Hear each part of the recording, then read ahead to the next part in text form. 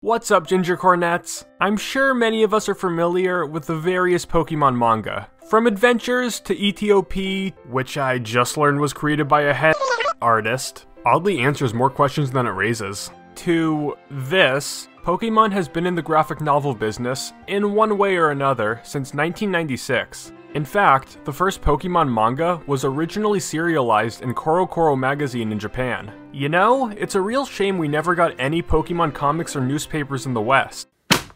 Pikachu Meets the Press, a Pokemon newspaper strip collection. I can't believe this actually exists. Let's get this over with.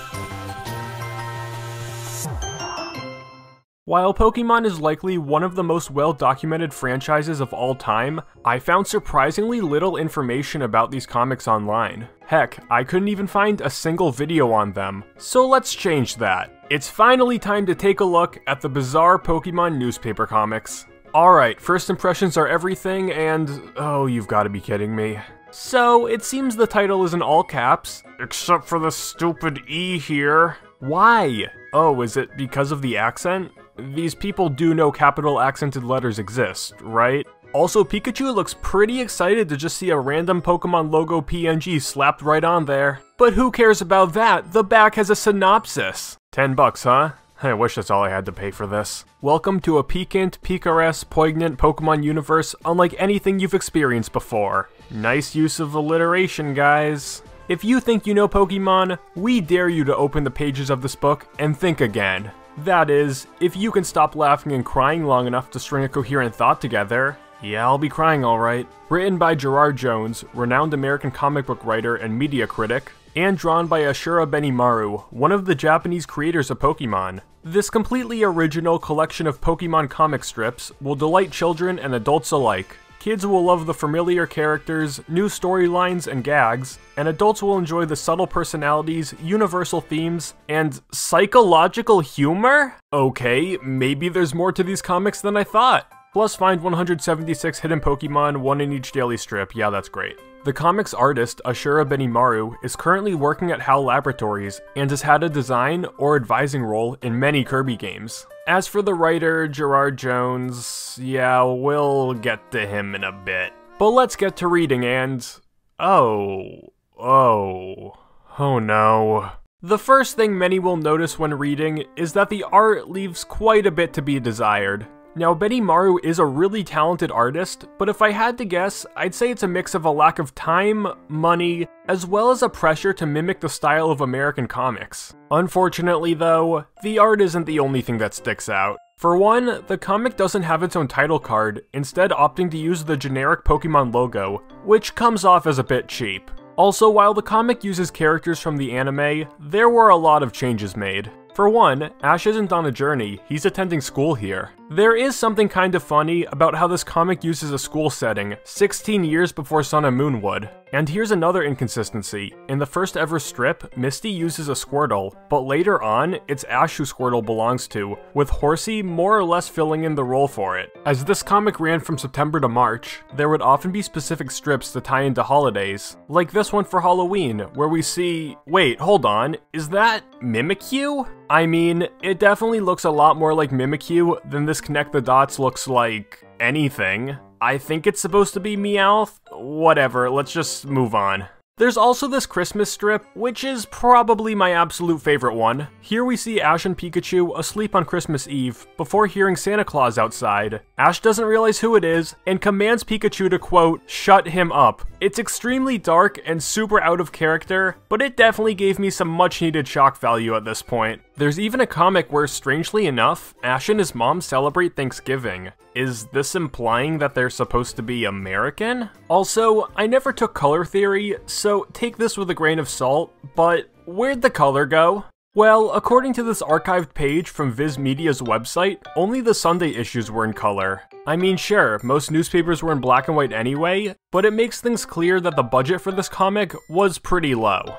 However, not only do the majority of strips lack color, but the time dedicated to each panel often seems minuscule. Many have very minimal backgrounds, or simply none at all, and even the strips in color often just have simple gradients. I know this is a newspaper comic, so I shouldn't be expecting too much, but it is kind of hard to feel immersed in a Pokemon world when the world itself is so absent.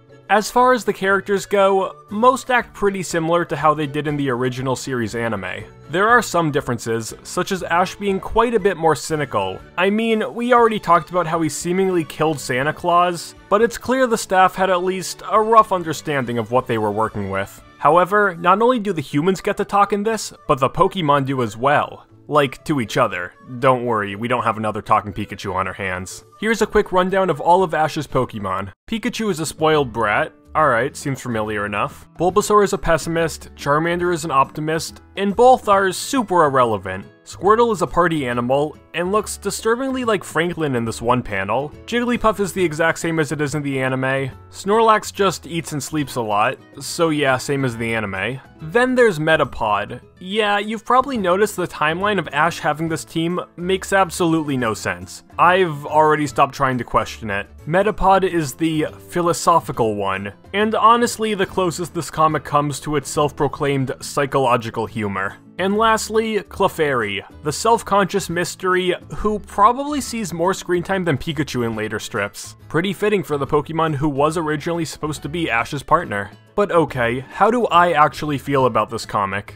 Well, if you haven't caught on, I really wasn't a fan. Unironically anyway. It also seems many others weren't either, as the strip only ran from September of 2000 to March 2001, not even a full year.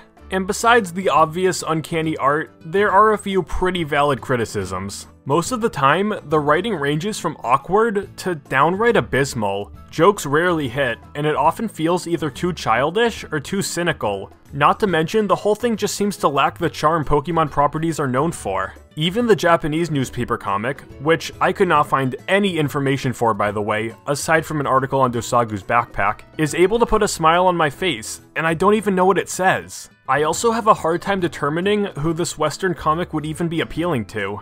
Non-Pokemon fans would just be left confused at it all, and those who were fans probably wouldn't appreciate the changes made to the anime's canon. It's really not surprising that the Pokemon Company seems to not even acknowledge this comic's existence. Also, while I have no concrete evidence of this, Pokemon USA, which would become the Pokemon Company International, was founded in February 2001, just a month before the strip's ending. I would not be at all surprised if these events turned out to be related. Oh yeah, let's talk about that final strip. Here we see Ash arriving in the Johto region, with plenty of Gen 2 Pokemon, as well as Team Rocket present, who were surprisingly absent up until this point. This is one of the few instances of Gen 2 Pokemon, despite the comic starting after the North American release of Gold and Silver. So it's likely most of the comics were planned out pretty far in advance. But honestly, that's really all I've got. Despite being a collection of every comic, Pikachu Meets the Press does little to document the history of them. Also, this paper feels super cheap. Then again, this book is probably older than I am. My immediate thought was to try and contact the writer in order to get more information about the comic's creation, but that's sort of where the story takes a dark turn. In 2018, writer Gerard Jones was sentenced to six years in prison. He did some really disgusting things, which I don't think I can talk about on YouTube. Also, I try to keep this channel family friendly, which is why I'm only glossing over this point, but Jones was found to be in possession of child. Feel free to do your own research if you want to learn more, but I kindly ask that you refrain from discussing it in the comments. The Pokemon newspaper comics are an absolutely bizarre part of the franchise's history, one that the Pokemon Company and Viz Media will likely never acknowledge again. Still, it's fun to look back at some of the more obscure parts of Pokemon, and with the 25th anniversary looming over us, I don't think we'll be in any shortage of new Pokemon media anytime soon. Sorry if the ending felt a little bit abrupt, I really didn't have any other way to segue, and I felt like I sort of needed to mention that fact, as it was sort of a big part of the comic's history. But yeah, this marks the first video where I've had to censor a word, and I had to censor two of them. Anyway, I'm curious what you guys want to see revealed for Pokemon's 25th anniversary. You can call me basic, but I'd like to see Diamond and Pearl remakes, as long as they can uh, have enough time in development. I'm sure many of you have felt this before, but my first Pokemon game was Platinum, so it's weird to me that the generation I started playing with is now the generation that's probably going to be seeing remakes. So that makes me feel old. Alright, I hope you have a great, fantastic rest of your I don't know, week, day, month, whatever. And I'll see you later, Gator Taters.